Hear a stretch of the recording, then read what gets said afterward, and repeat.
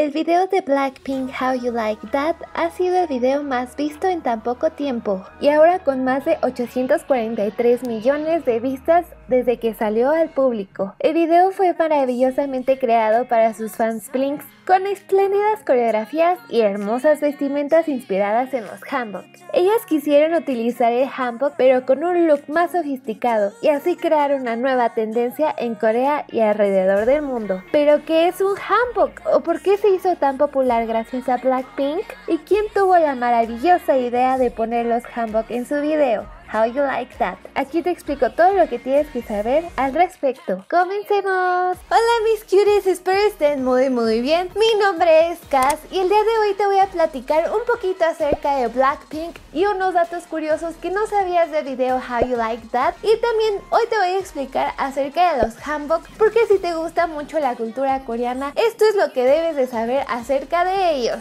Y aparte como pueden ver, hoy me maquillé como Jenny del video Kill This Love ¿Quieres ver el tutorial de este maquillaje? Lo voy a estar subiendo en mi Instagram. Aquí te lo voy a dejar para que vayas y me sigas. Y suscríbete y dale like a este video si te gusta Blackpink y la cultura coreana. Y pues vamos a comenzar mis cuties. Y primero que nada les voy a contar la historia del hanbok y por qué apareció en el video de Blackpink How You Like That. El hanbok es ropa tradicional coreana que ha durado más de 1600 años. El hanbok es un vestido tradicional de Corea con líneas simples y con colores llamativos sin bolsillos. Que déjenme decirles están muy muy bonitos. ¿Y qué creen? La palabra hanbok significa literalmente ropa coreana. ¿Y dónde puedo ver las primeras formas de hanbok? Las formas de hanbok las puedes encontrar en las tumbas de Goryeo. El arte de los murales más antiguos datan del siglo V y cuando ves estos murales te puedes dar cuenta que ya está la estructura básica del hanbok. Y ahí puedes ver las chaquetas yokori, los pantalones baggy y la falda chima. Y ahorita te voy a contar el significado de cada uno de ellos. En la antigüedad los hanbok tenían un gran significado social. ¿Esto qué quiere decir? Esto quiere decir que los colores que ellos usaban distinguían a la gente común de la realeza. La realeza utilizaba colores más brillantes y los colores más opacos eran para las mujeres y hombres de edad mediana. Y el pueblo usaba colores más opacos como el rosa palo, el verde claro, el gris y el color carbón. Y también los colores diferenciaban a las mujeres casadas, a las solteras e incluso en la actualidad a la madre de la novia y a la madre del novio en las bodas. El hanbok ya no es tan utilizado como antes, pero puedes verlo en las bodas o en eventos sociales. Y ahorita los puedes encontrar de varios colores y diferentes estampados. Y si tú has visto los K-dramas, te puedes dar cuenta de que hay variedad de colores. Aunque no lo crean, aprendemos historia en los dramas, oigan.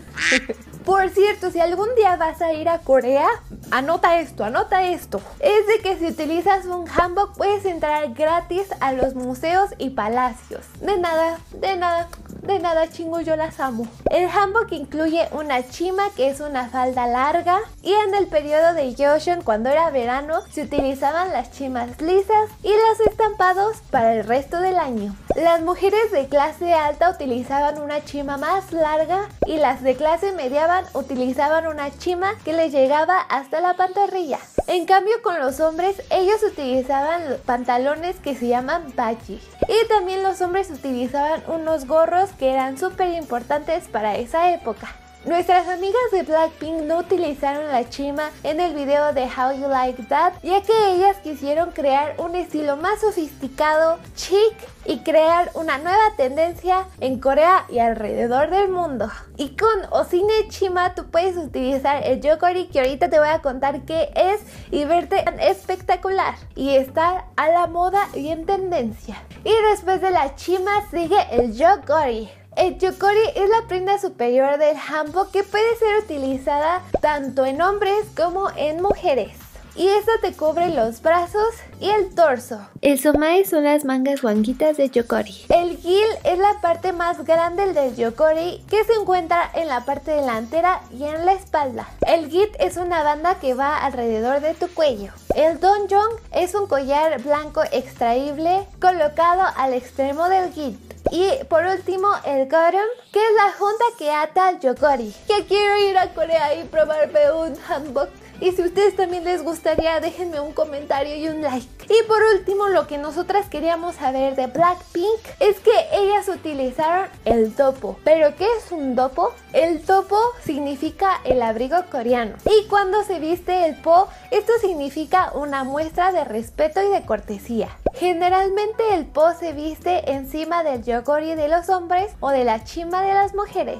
Y aquí podemos ver a las chicas de Blackpink que están utilizando un dopo con colores hermosos y con diseños espectaculares, que les quedan bien bonitos, se ven bien hermosas, me encantan. Y ustedes se preguntarán, ¿quién tuvo esa grandiosa idea de poner el handbook en el video de How You Like That? Pues déjenme decirle que no tuvo la idea YG Entertainment, sino que la tuvo Jenny y Jisoo. Ellas querían mostrar un poco de la cultura coreana a todo el mundo con el video de How You Like That. Y no hombre, sí que lo lograron. Y otro dato curioso que tú debes saber acerca del dopo que estaban usando las chicas de Blackpink, que los estampados de los dopos fueron sacados de museos y de artefactos de la era de Yoshun que fueron dibujados a mano por la diseñadora de las chicas de Blackpink, ya que ella no podía agarrar esos artefactos y llevarlos a imprimir. La verdad se merece un aplauso a la diseñadora y las chicas de Blackpink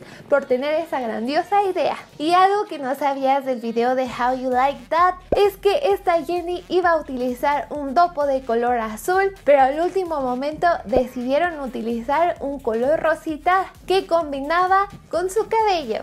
Ya que ahora sabes todos estos datos curiosos acerca del hanbok, ¿a poco no te dan ganas de irte a Corea y usar uno y sacarte muchas, muchas fotos? Muchas gracias por ver este video, ojalá y les haya ayudado a aprender más acerca de la cultura coreana y ya saben, cuando vayamos a Corea utilicen hanboks y tómense muchas, muchas fotos. Y muchas gracias por ver este video, mis chingos, las quiero mucho y nos vemos en el próximo video. Adiós.